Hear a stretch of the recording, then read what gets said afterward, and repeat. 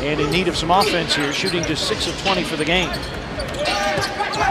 Parsons an open look at a three. Bango. Well, they, they got to the bread and butter play when Parsons is in the game with Deyonta Davis, which is mid-screen and roll. And Chandler has done a great job of throwing the lob that time.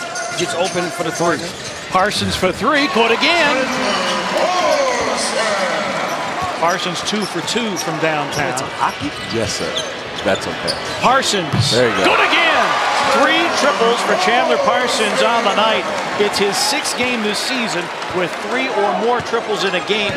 Parsons with a drive. He faces up and fills it up. How about Parsons with 11? He's the Grizzlies' leading scorer. Bench a team high 11 on five shots. Once upon a time, we're coached by the Grizzlies' Nick Van Exel.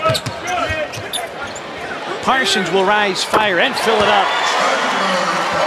Yes, his offensive game rolling tonight, partner. He's finding it from long range, mid range, getting to the basket. Go, and that one short follows his own. Chandler Parsons, 15 on the night.